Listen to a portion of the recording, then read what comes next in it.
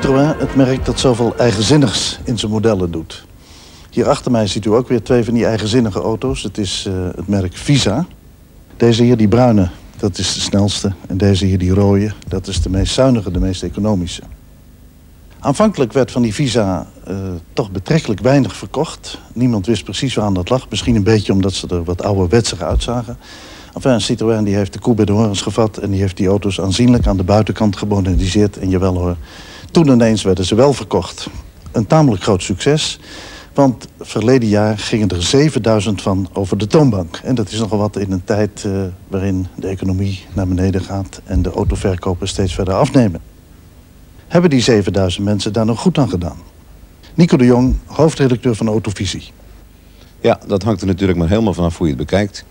De een voelt zich sterk aangetrokken tot typische eigenschappen van dit soort auto's.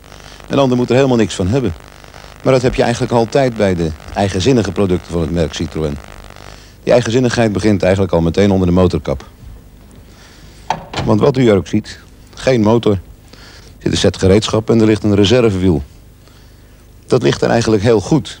Want het steelt op deze manier geen kostbare kofferruimte. En in tegenstelling tot wat sommige mensen menen... is het helemaal niet erg voor die band om af en toe behoorlijk heet te worden. Dat wordt hij namelijk onder de auto als die rijdt ook.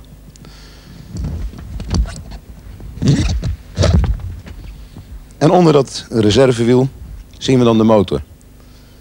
Klein en heel diep weggebouwd. Het verschil tussen deze twee modellen zit hem in de cilinderinhoud van de motor. En dat kun je eigenlijk nergens beter mee tot uitdrukking gebracht zien dan door een zogenaamde acceleratieproef.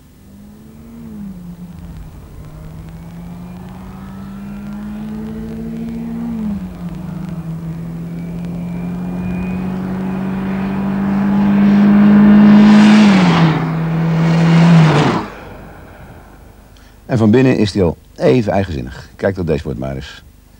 Toch heeft dat leuke vormpje niet alleen maar voordelen. Als je bij snel overpakt, dan kan het gebeuren dat je lelijk je knokkels schaaft tegen al die instrumenten en instrumentranden.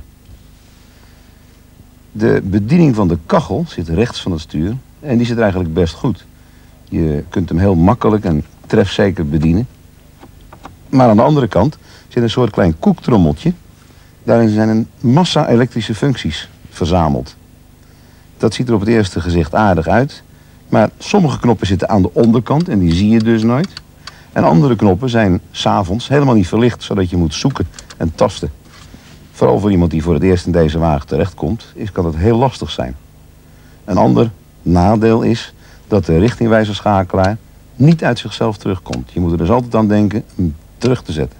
De ruimte achter het stuur en de zit die vallen eigenlijk geweldig mee. Kijkt u maar. Achterin is het al niet anders gesteld. U ziet, de beenruimte valt erg mee. Wat u niet kunt zien is de hoofdruimte. Die is ook prima. In de kofferruimte zien we een afdekplank van een soort plastic.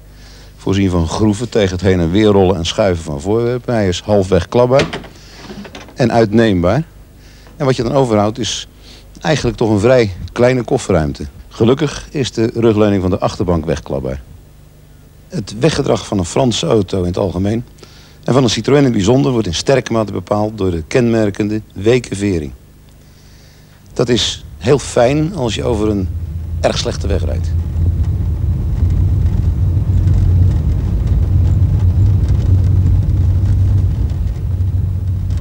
Maar zulke slechte wegdek hebben we natuurlijk helemaal niet zoveel in Nederland. En dan komt er een nadeel om de hoek kijken.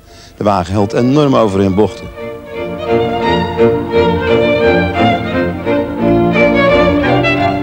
Conclusie. De snelste Visa is inderdaad snel. Erg snel. 152 km per uur.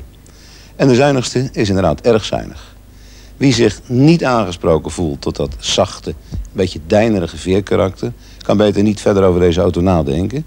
Maar als het u niks kan schelen of als u het zelfs heel fijn vindt, dan koopt u aan de Visa een lekker zuinig, comfortabel en goed bruikbaar autootje.